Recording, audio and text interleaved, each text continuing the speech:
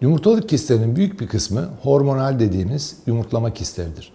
Normalde her iki adetin ortasında yumurtlama zamanında 2-3 santimetrelik bir kistik görünüm görülür. Bazen burada yumurtlama olmaz, içindeki yumurta dışarı atılamaz ve bu yumurtlama kisti 3-5 santimetre boyutlara ulaşıp bir sonraki adeti veya ondan sonraki adeti düzenini bozabilir. Doğum kontrol yapı bu adet düzenini normale çevirmek için kullanılır. Aslında doğum kontrol yapı kullanılmaksızın da bu yumurtlama kistleri kendiliğinden 4-6 ay içinde kendinden gerileyebilir.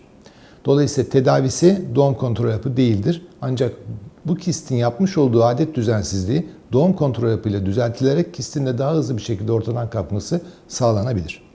Bunun haricinde iyi huylu tümörler, örneğin endometrioma dediğimiz çikolata kisti veya dermoid kist de doğum kontrol yapı e, tedavi değildir.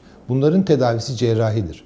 Ancak bazı durumlarda tedaviye, cerrahi tedaviye gerek duymadığımız e, çikolata kistlerinde e, veya hastanın ameliyat olamadığı durumlarda doğum kontrol yapı bu çikolata kistinin yapmış olduğu semptomları, ağrı gibi, ilişki sırasında ağrı, adet sırasında ağrı bunları ortadan kaldırmak için kullanılabilir. Ama doğum kontrol yapı çikolata kistini ortadan kaldırmaz. Bunun tedavisi cerrahidir. Bunun haricindeki durumlarda, diğer kistlerde, diğer iyi huylu tümörlerin hiçbirisinde doğum kontrol yapı tedavi amaçlı kullanılmaz.